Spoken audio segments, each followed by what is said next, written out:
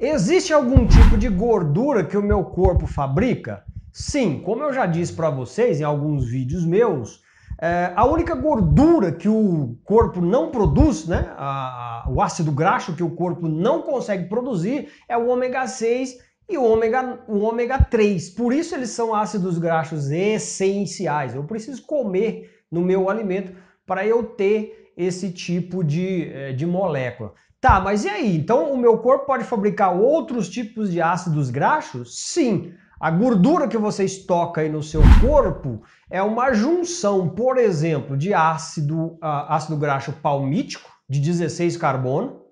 E o interessante é que o seu corpo pode produzir esse ácido graxo fazer esse ácido graxo, que se chama lipogênese, através do carboidrato que você come, da glicose que você come e também através do aminoácido e da proteína, né? Na verdade, que você come. E ele pode fazer ele também a partir de outra gordura, outro ácido graxo.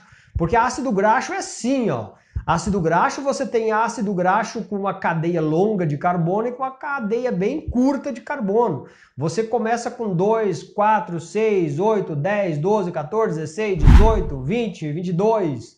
É a cadeia carbônica. E cada um dá um nome a esses ácidos graxos, tá?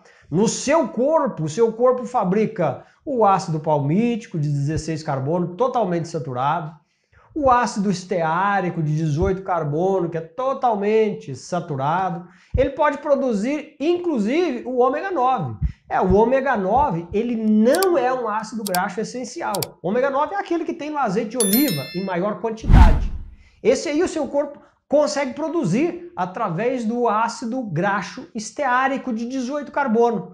Ele pega, é, você tem algumas enzimas no seu corpo que quebra essa cadeia carbônica e coloca uma junção, uma ligação dupla que tem no ácido graxo monoinsaturado ômega 9. Seu corpo faz isso.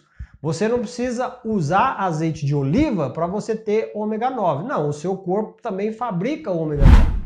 O único que ele não faz, os únicos ácidos graxos, é o ômega 3 e o ômega 6. Esses daí você tem que comer de algum tipo de alimento. E a gente sabe, por exemplo, que o ômega 3 hoje em dia está muito é, difícil de você conseguir ele nos alimentos. As pessoas estão comendo muito mal, não estão comendo alimento com ômega 3 é, de maneira adequada. E aí você fica com a desproporção muito grande, porque ômega 6 nos alimentos tem muito, principalmente nos óleos vegetais, né?